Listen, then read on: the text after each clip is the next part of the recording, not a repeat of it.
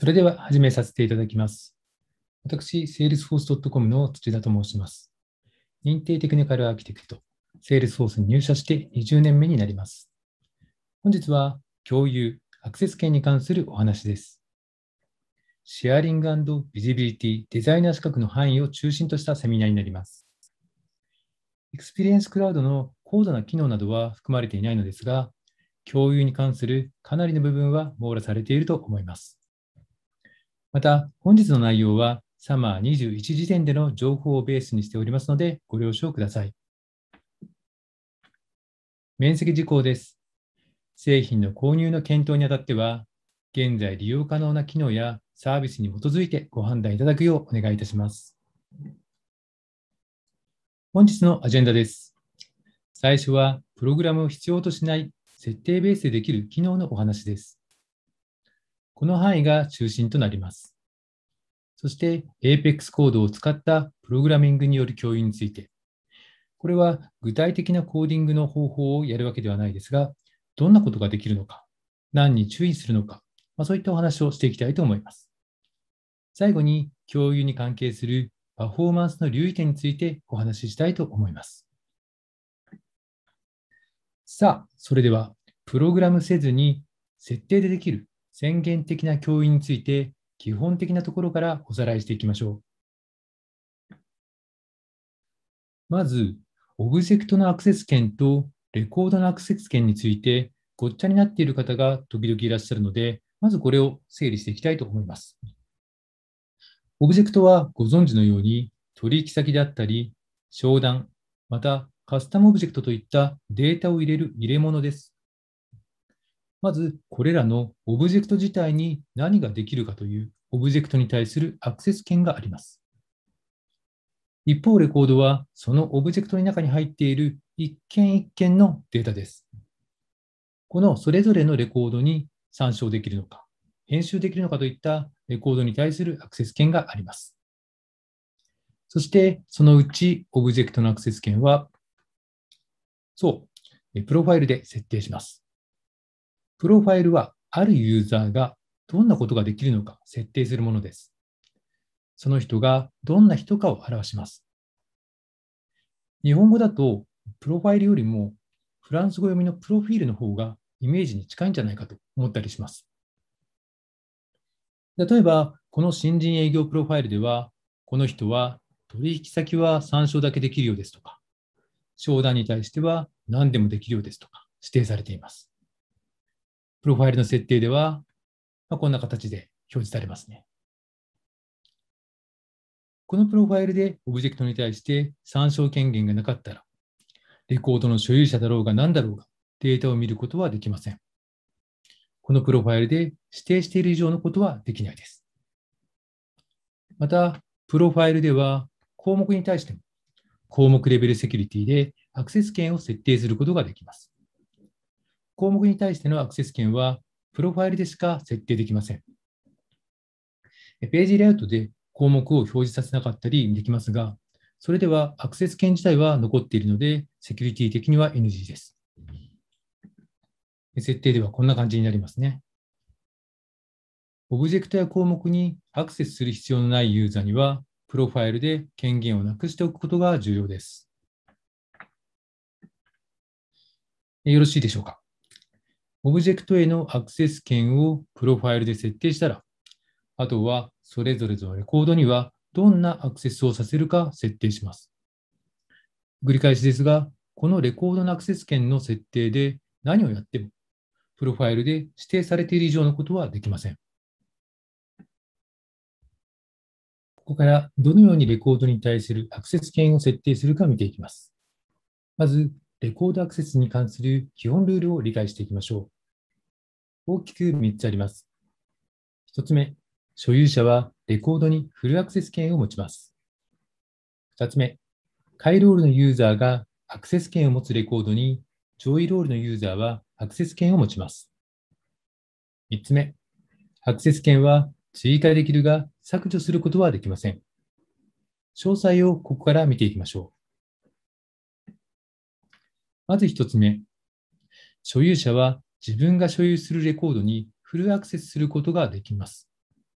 自分が所有しているレコードなんで何でもできるっていうことですね。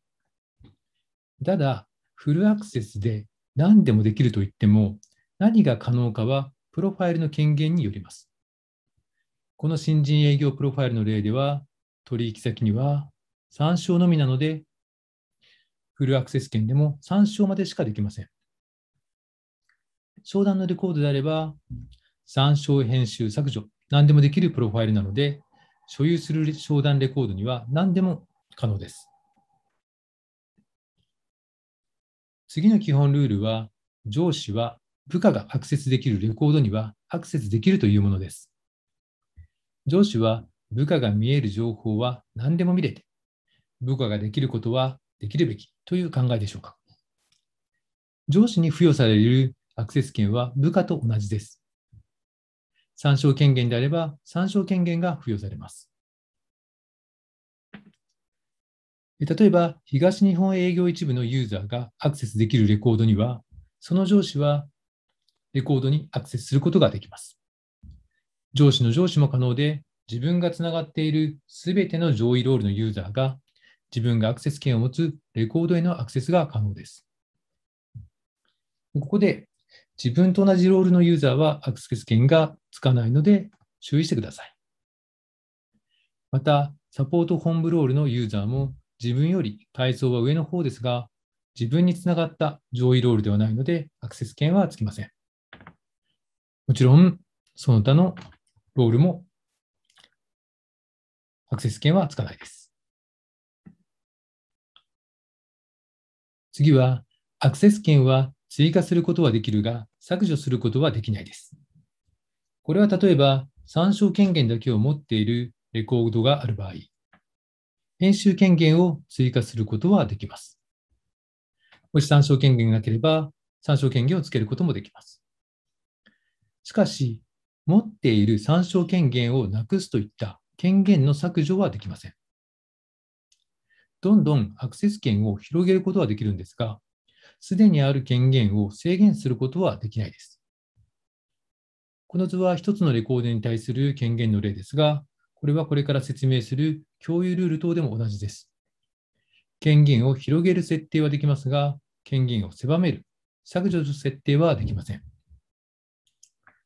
このため、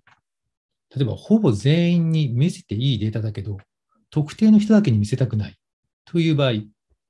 特定の人だけアクセス権を削除したくなると思うと思うんですが、これはできないです。ちなみに、アクセス権を制限するルールを設定する機能がベータでリリースされています。これを使うとさらに柔軟な設定が可能になっていきますが、まだ正式リリースされていないので、まずはアクセス権は追加できるが削除することはできないを理解してください。正式リリースされましたら、新機能説明会などでご紹介できると思います。レコードアクセス権に関する基本ルールが分かったら、次はレコードアクセス権をどうやって付与するのか、その方法です。大きく分類すると、よく使う機能の種類はこの3つになります。組織全体のレコードの共有方法を決める組織のデフォルトの共有設定。ルールを作って自動的にレコードを共有させる共有ルール。そして、レコード一件一件に対して共有設定を行っていく、レコード個別での共有設定方法です。まず、組織のデフォルトの共有設定です。各オブジェクトに対して共有ルール等の設定を全く行っていないときに、レコードにどうアクセスできるか指定する設定になります。オブジェクトによって種類があったりするんですが、大きく分けると、レコードは非公開なのか、公開なのか。公開する場合には、参照のみなのか、更新を可能にするのか、こういった設定ができます。もしデフォルトの共有設定が非公開だったら、誰がアクセス可能でしょうか非公開なので、基本は誰もレコードを参照することはできません。ただし、一部の人を除いては。そう、所有者はフルアクセス権を持ちます。そして、その上司もフルアクセス権を持ちます。デフォルトを公開参照のみに設定していたら、所有者以外のユーザーも全員すべてのレコードを参照することができます。ただし、参照権限しかないので、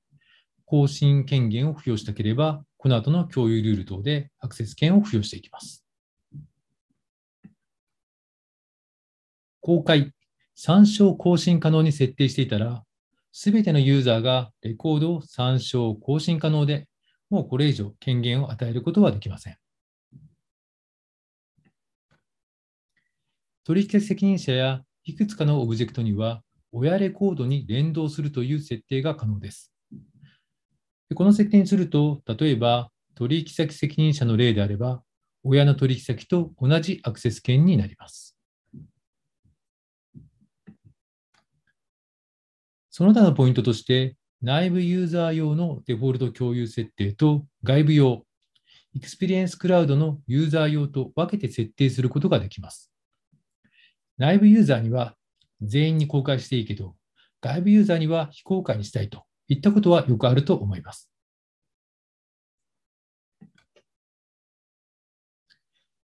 デフォルトの共有設定で何も設定しないときのアクセス権が決まったら、ルール等を使って所有者以外にもアクセス権を付与していきます。はじめに共有ルールです。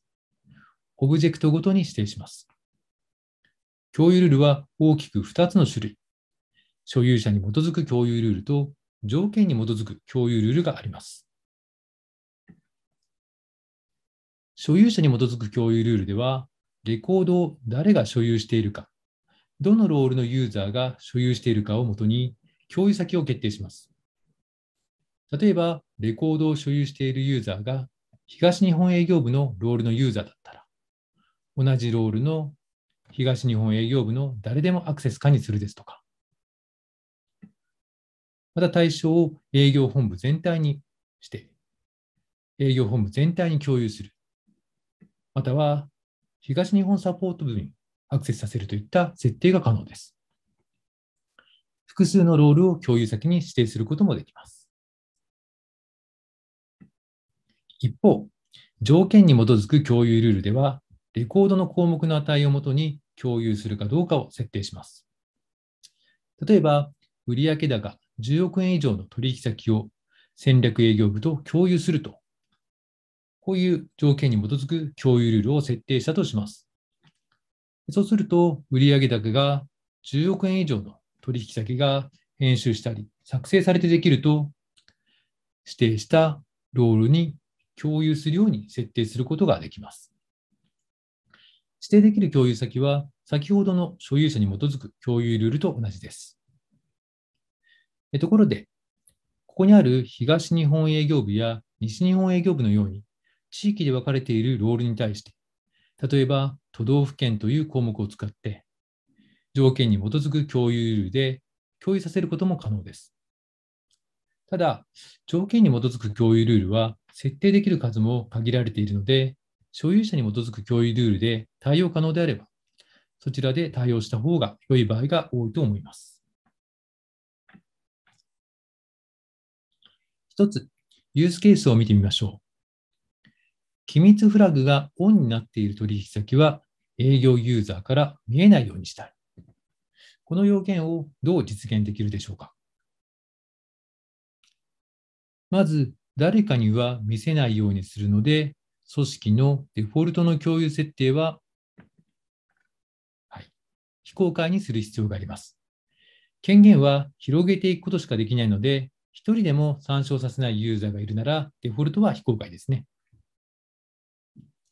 次に共有ルールは、機密フラグという項目によって共有を変更するので、条件に基づく共有ルールを使います。そして条件は、機密フラグがオンの場合に見せないというルールを作りたいですね。しかし、アクセス権は追加することはできますが、削除することはできないので、逆に機密フラグがオフなら営業ユーザーに共有という条件にします。これで機密フラグがオンの場合には、デフォルトの共有設定が非公開なので、営業ユーザーは取引先を参照できず、機密フラグがオフのレコードには条件に基づく共有ルールでレコードを参照できるようになります。さあ、場合によっては共有ルールよりももっと細かくレコードごとに異なる設定を行う場合もあると思います。そこで利用できるのが個別レコードに対する共有です。これにはチームによる共有と手動での直接共有の2つがあります。まず、チームですが、チームには3種類あります。取引先、商談、ケースチームです。チームでは、例えば取引先チームであれば、プロジェクトマネージャー、セールスエンジニアといった役割と、それぞれがどんなアクセスが可能か、参照のみかですとか、更新も可能かと、こういった指定をします。毎回一人一人チームメンバーを指定するのはちょっと面倒ですね。もし自分と一緒に行動するメンバーが決まっているのであれば、デフォルトのチームが便利です。事前に複数のメンバーの役割を権限とともに設定していくことができます。こうすると、ワンクリックでレコードに複数のメンバーを割り当てることができるので、非常に効率的です。後から一部のユーザーだけアクセス権を変更することもできます。次は共有の直接設定です。共有の直接設定では、一件一件のレコードを誰と共有するか指定できます。共有ボタンをクリックすると、ここにあるような画面で設定することができます。ポイントは、所有者が変更されると、この共有が解除されるということです。所有者が変わったら、共有先も変わるよねという設計思想だと思います。デフォルトの共有設定が公開、参照更新可能だと、これ以上共有設定をすることはできないので、共有ボタンが表示されません。これテストしているときに、あれなんでボタン出てこないんだろうと思うこともあると思うのでご注意ください。あるレコードがなぜ共有されているのかわからない場合、画面からその理由を確認することができます。ライトニングエクスペリエンスであれば、共有階層。クラシックでは共有ボタンで確認することができます。でここまで基本的なアクセス権の設定をご説明してきました。まず、プロファイルでオブジェクトに対する根本のアクセス権を設定します。次に、レコードのアクセス権として、デフォルトの共有設定で、他に何の設定も行われていない場合のアクセス権を設定します。共有ルールによってまとまったレコードを共有できます。そして、チームや直接設定によって一件件のレコードに対しても共有設定することができます。よろしいでしょうか？はい、ここからその他のアクセス権、共有に関する基本機能を見ていきます。まず、権限セットです。ユーザーにプロファイルで設定できる一部の権限を付与することができます。ユースケースを見てみましょう。100人の営業の中で3人だけにエクスポート権限を与えたい場合があるとします。100人の営業は同じプロファイルを使用しています。どうしますでしょうか？そうですね。このような場合には、エクスポート権限を含めた権限セットを作成して、これをユーザーに割り当てるのが適当でしょう。これ別のプロファイルを作ってもいいんですが、その場合、営業全体のプロファイルを変更しようとした場合、営業のプロファイルとこの3人のプロファイルの変更が必要になり、管理が複雑になってしまいます。権限セットであれば、この営業プロファイルを変更すれば、全員に適用することができるわけですね。ですので、この例では権限セットを使うと良いと思います。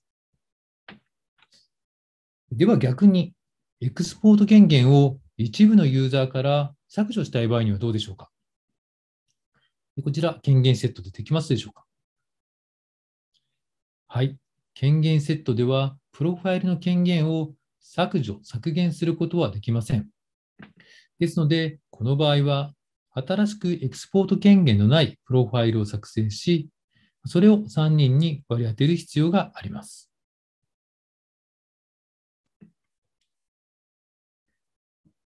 次の基本機能は公開グループと Q です。複数のメンバーを含めて利用し、含められるメンバーはユーザーやロールなので、そこはどちらも一緒です。利用用途が異なります。公開グループは共有設定等をグループにまとめることで設定しやすくする機能です。Q は Q をレコードの所有者にできるところが特徴です。例えば、共有ルールの設定で複数のロールに共有設定する場合、もし毎回同じロールを設定するのであれば、まあ、面倒ですよね。そこで例えば、東日本関連のロールをまとめて設定したい場合には、東日本グループという公開グループを作ります。そこに割り当てたいロールを追加していきます。一人一人のユーザーを含めることもできます。作った公開グループは共有ルールの設定や共有の直接設定などで使えます。Q も公開グループと同様に、ロールやユーザーをメンバーにすることができます。ですが Q はレコードの所有者にできます。Q が所有者になっている場合は、それぞれのメンバーが所有者同様のフルアクセス権を持つことができます。使用例としては、弊社セールソースでも同様のことを行っているんですが、一時サポート Q を作っています。例えば、Web2 ケースで取り込まれるケースの所有者を割り当てルールで Q に割り当てます。担当者は Q が所有者のケースをビューで一覧します。ケースにできる、対応できる担当者は自分が担当するケースを選択し、ケースの所有者を自分に変更して対応を進めていきます。Q ってもともと行列という意味で、並んでいるものを順番に取っていくイメージですね。セールソースの Q は特に順番ではなく、どれからでも取っていくことができます。次の基本機能です。プロファイルのオブジェクトに設定するすべて表示、すべて変更権限です。これを指定すると、レコードの共有設定がされていなくても、すべてのデータを参照したり、編集権限を持つことができます。システム管理者権限のすべてのデータの参照やすべてのデータの編集権限に似ています。これをオブジェクトごとに設定できる機能のイメージです。すべてのレコードの参照や変更が可能になるんですが、システム管理者権限的な機能なので、共有ルール等の機能を使ってレコードを共有した場合と動作が異なります。他のユーザーの所有するレコードの所有者変更や削除も可能になります。また、ロール階層を使用したアクセスは有効にならず、部下がこの機能によってレコードを参照できても、上司はレコードにアクセスすることができません。こういった動作の違いがあることにご注意ください。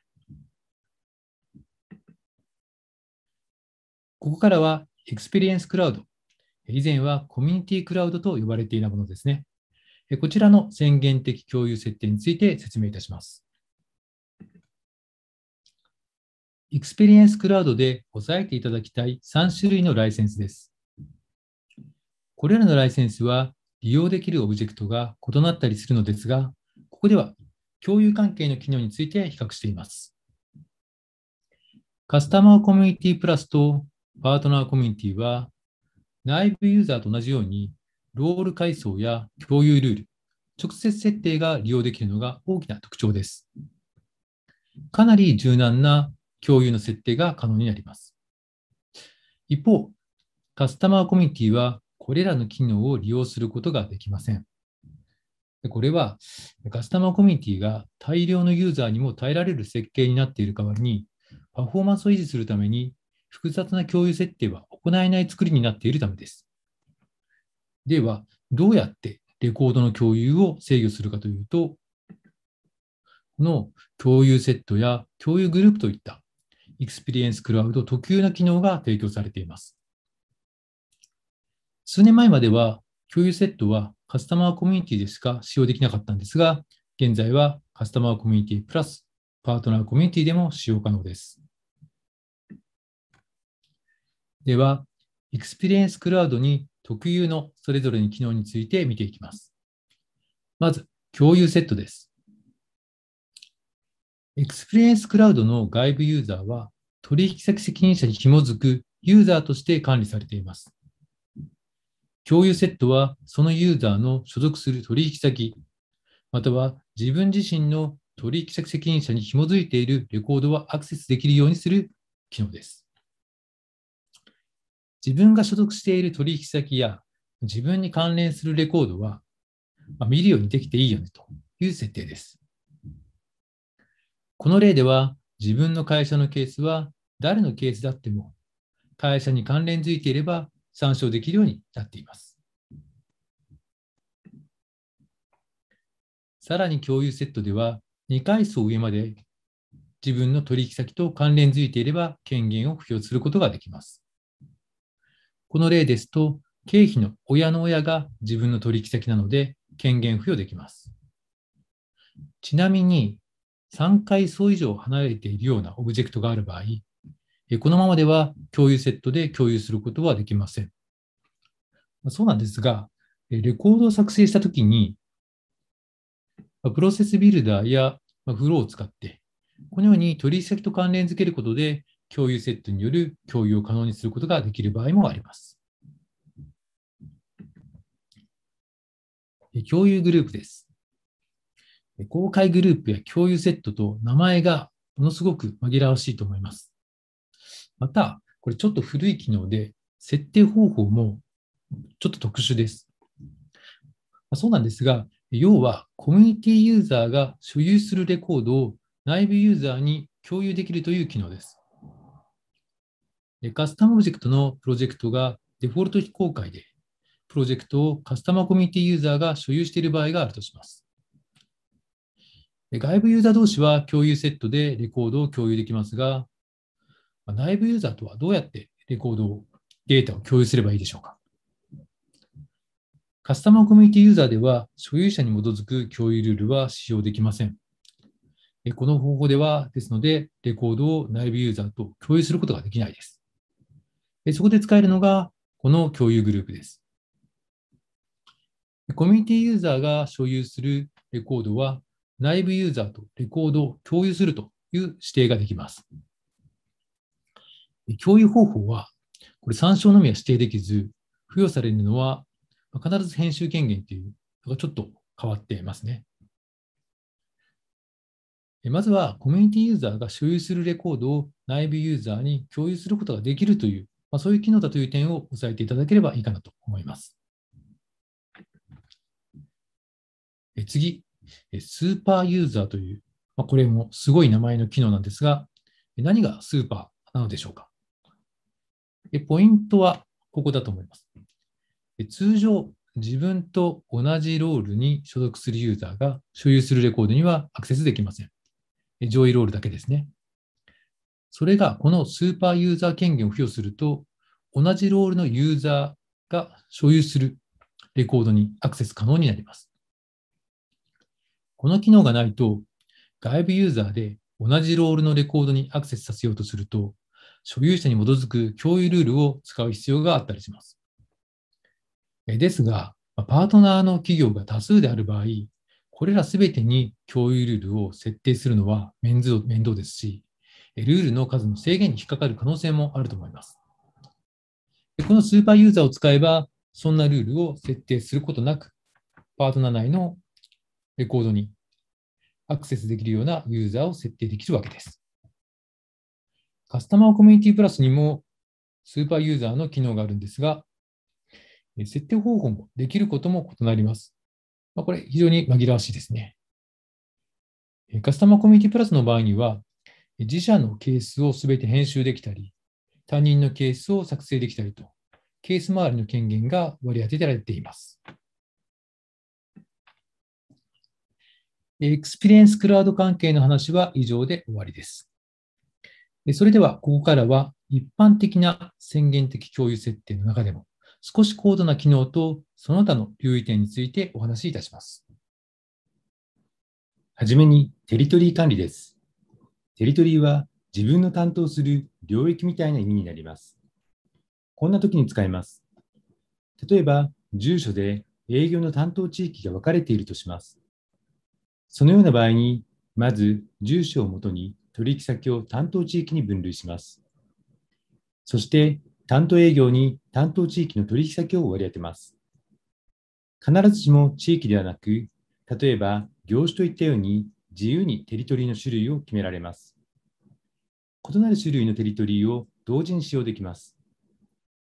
この例では中国のテリトリーに住所をもとに取引先を割り当てています。中国を担当するユーザーも割り当てます。すると割り当てられたユーザーはこのテリトリーの取引先にアクセスできるようになります。テリトリーはロールとは異なり、ユーザーを複数のテリトリーに割り当てることができます。取引先も複数のテリトリーに割り当てられます。中国と小売業の2つのテリトリーに割り当てるといったことが可能です。条件に基づく共有ルールとちょっと似ていますが、階層構造を持てたり、設定できる数も多いので、柔軟な設定が可能です。ただし、使えるのは取引先のみになります。テリトリーのポイントは、先ほど申し上げた階層構造を持てる点、取引先のこれコードへのアクセス権も設定できること、テリトリーの設定可能数について記載しているので、こちらは後ほどご覧ください。次は暗黙的な共有です。こちら、暗黙的な共有という設定する機能があるわけではないです。システムに組み込まれた機能、設定することなく自動的に暗黙的にレコードが共有されるということです。無効にすることはできません。3種類あるので見ていきましょう。1つ目、親取引先へのアクセス。取引先責任者、商談、ケースのいずれかにアクセス権があると、自動的に親取引先に参照権限がつきます。通常ならアクセスできない取引先に商談にアクセスできると取引先に参照権限が自動的につきます。次は取引先のこれコードへのアクセスです。親の取引先を所有している場合、これコードへのアクセス権が自動的につきます。ただこちら、暗黙的な共有としてヘルプには記載されていますが、自動的といってもどんな権限がつくかは、このようなロールの設定によるんで、明示的な共有というふうには私は思うんですが、いずれにせよ取引先を所有していると、子レコードへのアクセス権も付与することができます。最後は、エクスペリエンスクラウド関連の暗黙的な共有です。コミュニティユーザーは取引先責任者に関連付けて作成されるんですが、自分が所属する取引先と自分自身の取引先責任者には参照権限がつきます。自分や自分が所属する取引先はちゃんと見える必要がありますよねと。もし見せたくない項目があるのであれば、そうですね。その場合は、プロファイルの項目レベルセキュリティで制限します。次の機能は、ロール階層によるアクセスの無効化です。通常、これまでにご説明したように、レコードの所有者の上司は部下の所有するレコードにアクセス可能です。しかし、場合によっては上司にも見せたくない情報はあると思います。例えば、健康診断の情報は人事部にしか見えないなどがあると思います。こういったレコードにロール階層上位ではあってもアクセスできないようにする機能です。組織の共有設定の画面でオフにできます。ただし、これを無効化できるのはカスタムオブジェクトだけです。標準オブジェクトでは無効にすることはできません。次は主従関係についてのルールです。主従関係の子オブジェクトは親オブジェクトのアクセス権と同じになります。例えば、経費とその明細を管理する経費明細がある場合、経費のアクセス権が参照のみだったら、経費明細も参照のみ。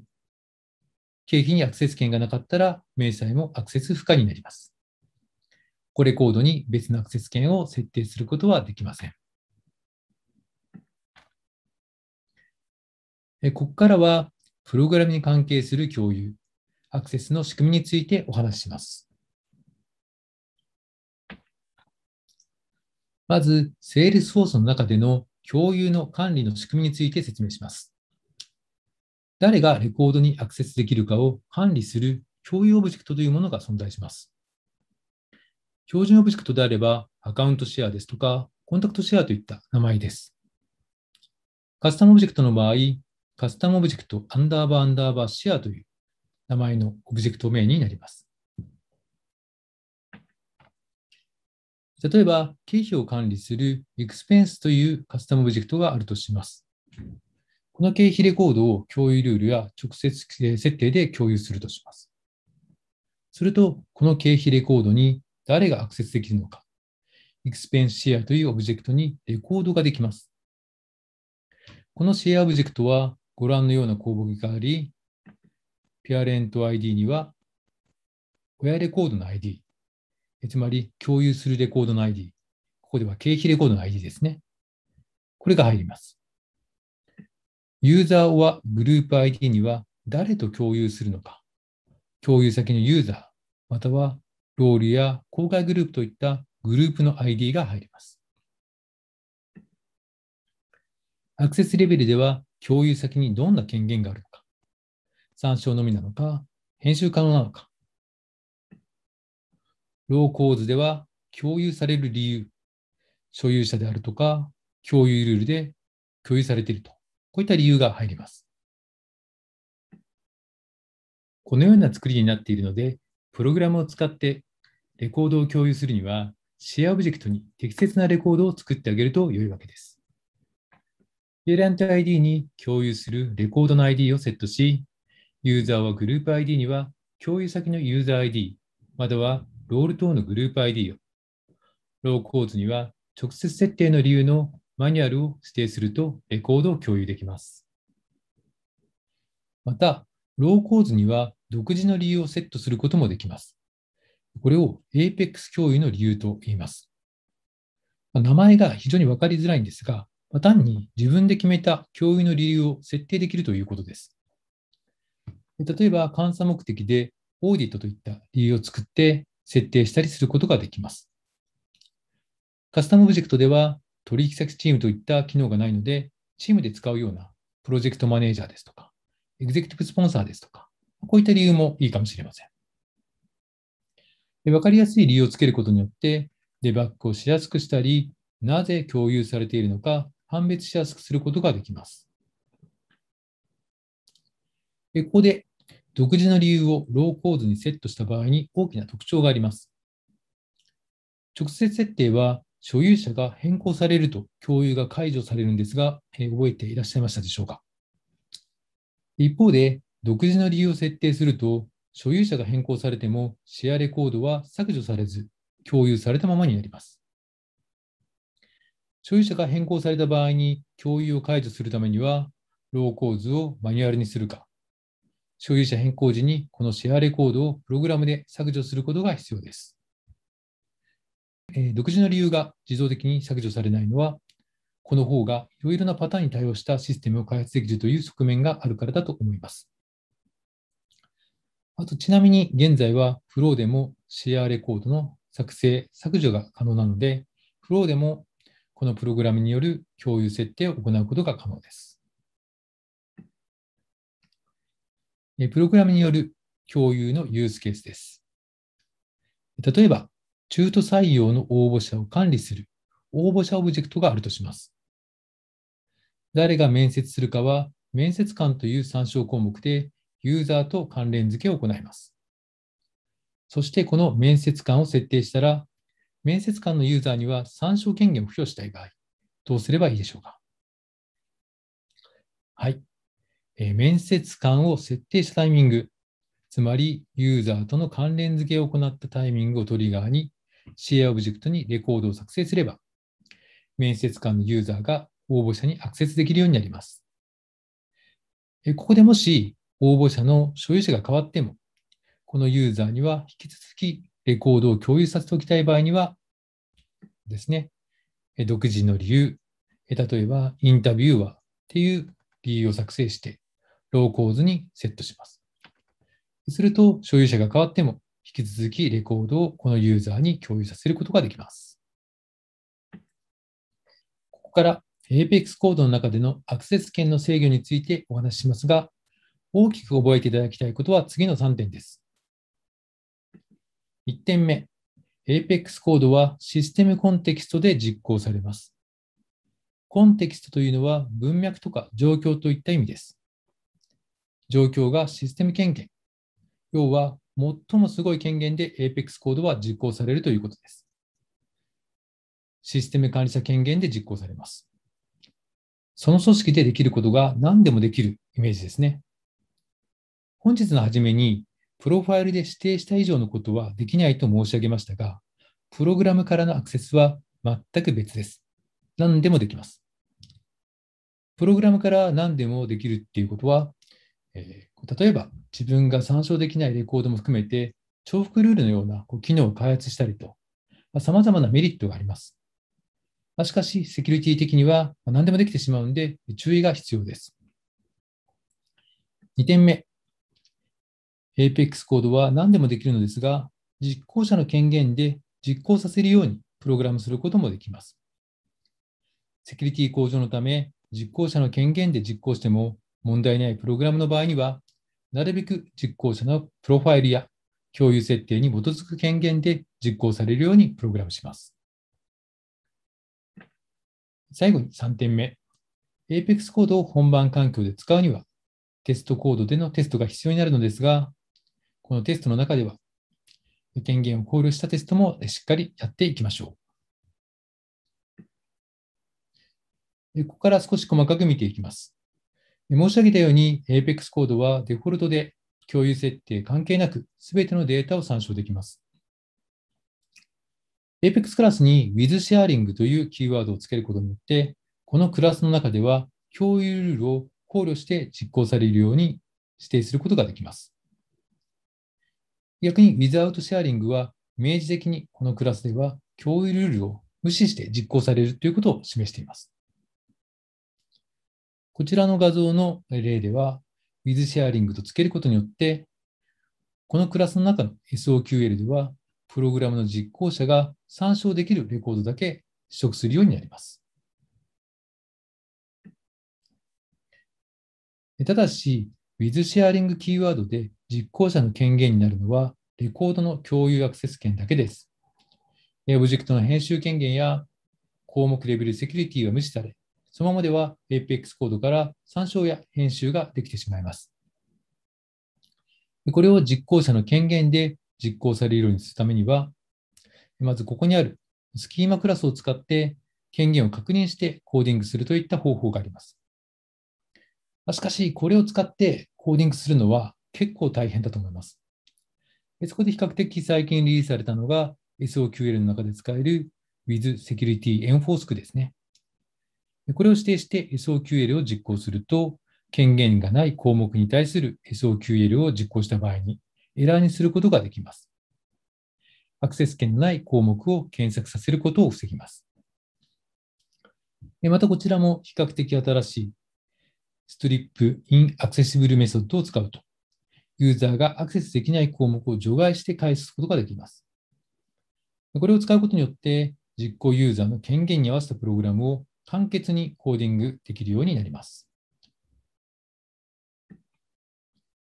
こちらは Apex コードのテスト時に使える runAs というメソッドです。ユーザーを指定することで、as そのユーザーとして run 実行できるという、そういったメソッドになります。テストコードの中でのみ利用可能です。ただし、こちらはレコードの共有権限が指定したユーザーになるだけで、項目レベルの権限はユーザー権限にならず、システム権限でのアクセスになるのでご注意ください。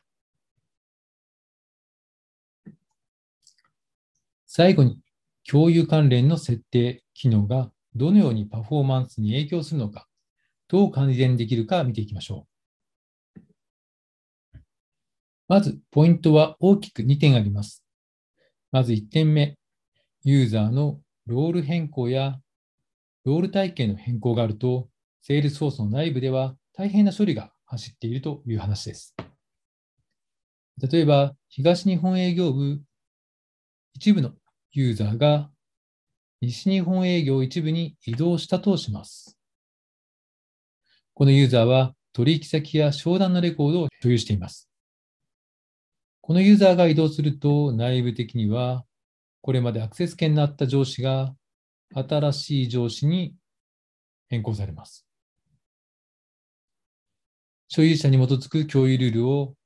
もしサポートに設定していたとしたら、こちらもおそらく変更になると思います。さらに公開グループを使っていたら、それに関連する共有も変更になります。ロールに設定された暗黙的な共有も変更といったように、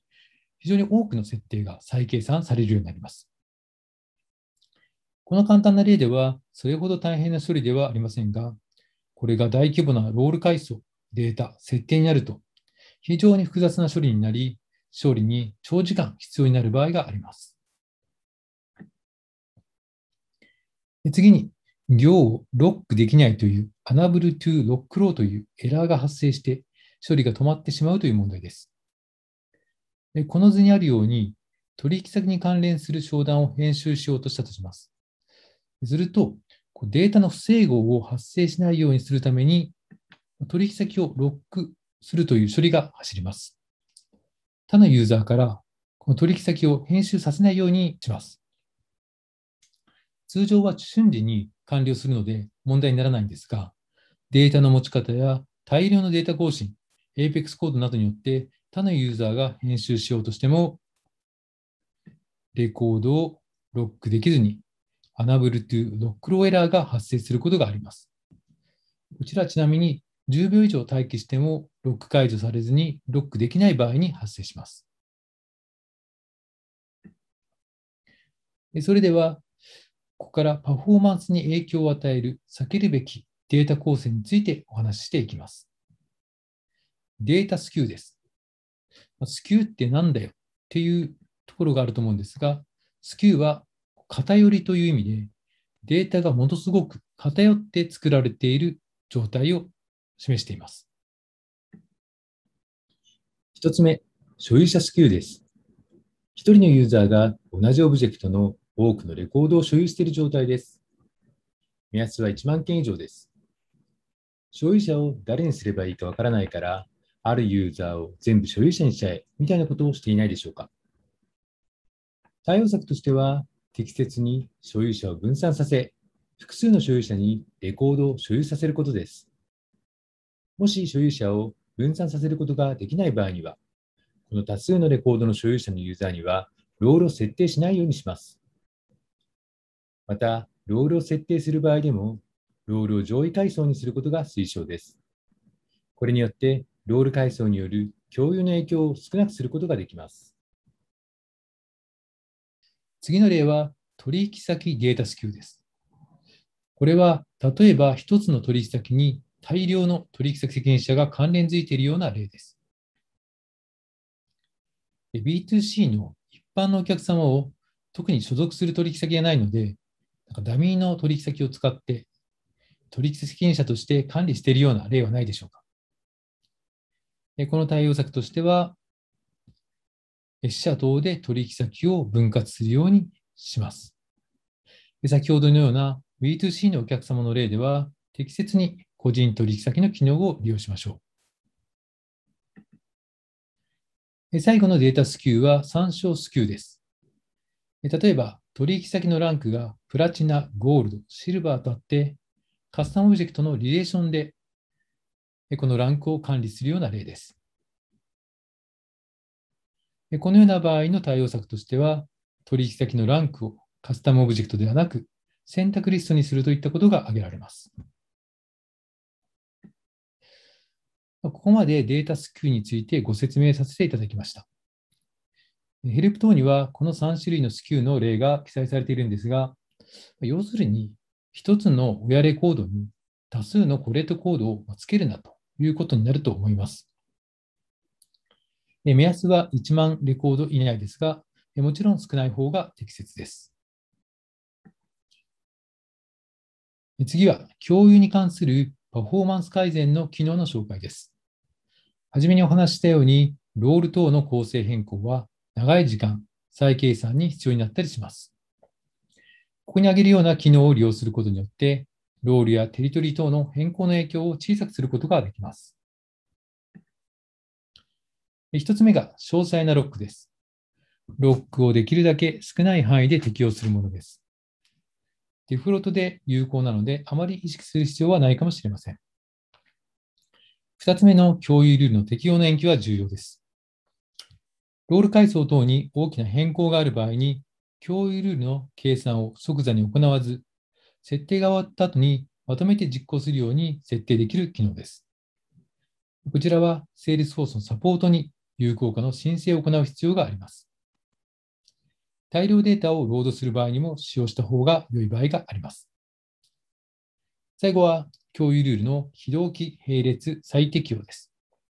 これは共有ルールの再計算を並列で行ってパフォーマンスを改善する、そういった仕組みになります。その他のパフォーマンスチューニングの考慮点です。まず、ロール階層のベストプラクティスは10階層以内です。もちろん少なくて良い場合は少なくした方がパフォーマンス的には良いです。ロールは会社の組織図と一緒にするのではなく、Salesforce のアクセス権やレポート等でのビジネス要件にマッチしてできるのであればシンプルにするのが望ましいです。公開してもいいレコードは公開にします。もちろん見せてはいけないデータは非公開に設定すべきです。しかし、見せても問題のないデータであれば、公開設定にした方が、共有レコードは最最小限に抑えられ、パフォーマンス問題が発生しづらくなります。いかがでしたでしょうか？以上で本日のアクセス権共有に関するご説明は終了になります。